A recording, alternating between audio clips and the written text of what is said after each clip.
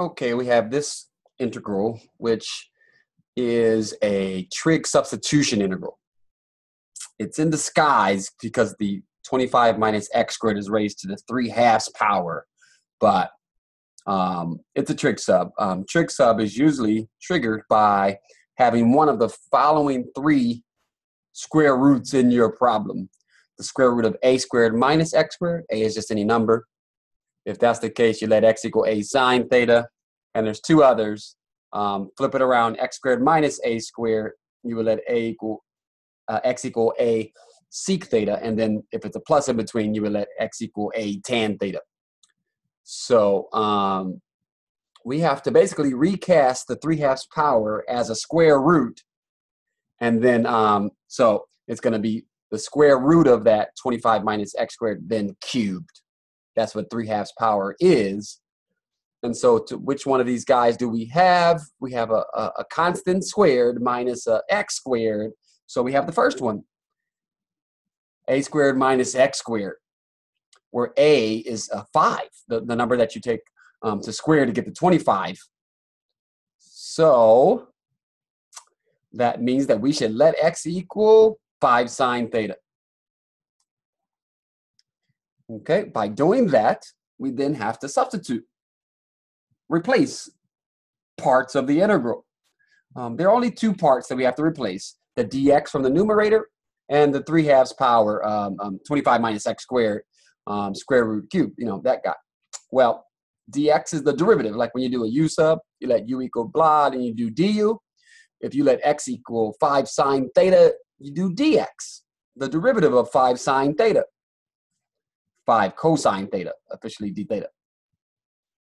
Now, when you have the radical uh, that triggers the trig sub, um, each radical can quickly be known and replaced. Um, we're skipping some algebra, but basically, um, when you do the x equal a sine theta, the radical becomes a cosine theta. When you do the uh, the middle one there, x equal a sec theta, the radical becomes a tan theta. And when you do let x equal a tan theta, the radical that triggered it becomes a sec theta. Uh, basically, what's going on there is there's some some trig going. Uh, I can show you quickly. Um, we have uh, basically replacing x with a sine theta. We have uh, a squared sine squared theta. And if you factor out the a squared, you'll have uh, a squared times 1 minus sine squared. And that's cosine squared. And that's all underneath a radical. And so that's how you end up with a cosine theta. Okay, and they all work like that. So our radical becomes 5 cosine theta. But then that gets cubed because we, we have 3 halves power. So you cube, don't forget to cube the 5. Cube the cosine, of course, but don't forget to cube the 5. So dx is our numerator, 5 cosine theta. And um, the radical is our denominator. don't forget there's 100 in the problem as well. Okay? All right, let's put this off to the side here. Here we go. Plug these guys in. 100 times the dx. And then the denominator, 125 times cosine cubed. Okay, great. Well, do some canceling the cosine theta from the numerator can cancel with one of those three guys from the denominator, giving us two more still there. And 5 times 100 is 500. And 125 goes into 500 four times. So you have a 4 in the numerator and a cosine squared in the denominator. And the d theta, of course.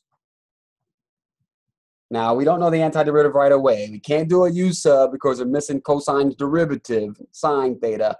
So um, the next thing, usually, I mean, you try to go to sines and cosines, but you're already in sines and cosines. But um, here we're going to go out of sine and cosine here. Um, cosine, a 1 over cosine, I know it's squared, but um, is, is secant. And so you can bring that up as a secant squared. And why is that beneficial? Because you know the antiderivative of secant squared. You know what function has secant squared as its derivative? It's tangent. And so that allows us to be able to then be done with the integral, but we're in theta. Okay. Now we have an option. There's a fork in the road here. We could do a limit switch or we could do a reference triangle. Let me briefly tell you why the limit switch is bad. Um, in this particular example, um, you go back to your trig sub and you plug in your bounds. And it's the upper bound that gives you trouble. 3 is equal to 5 sine theta. It's your job to figure out the theta. And this will not give you one of your unit circle 30, 45, 60 multiple guys.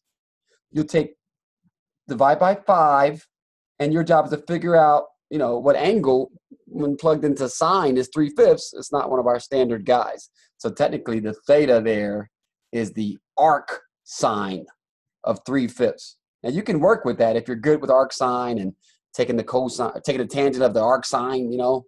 But but anyway, otherwise uh, your job would then be to um, to do the reference triangle. Let me walk you through that. So the reference triangle is going back to the trig sub, to solving for the trig function, and representing that as you know opposite over hypotenuse for sine. So make yourself a triangle right triangle that has a base angle theta and its opposite is x and its hypotenuse is 5. So the x is the upright leg, 5 is the hypotenuse. And then the radical that got this thing started, not the 3 halves, but the actual square root, um, 25 minus x squared is the missing side. Or you can just use Pythagorean theorem to find that. It's our job to replace tan theta, who's opposite over adjacent, so x on top of rad 25 minus x squared will be the replacement to tan theta.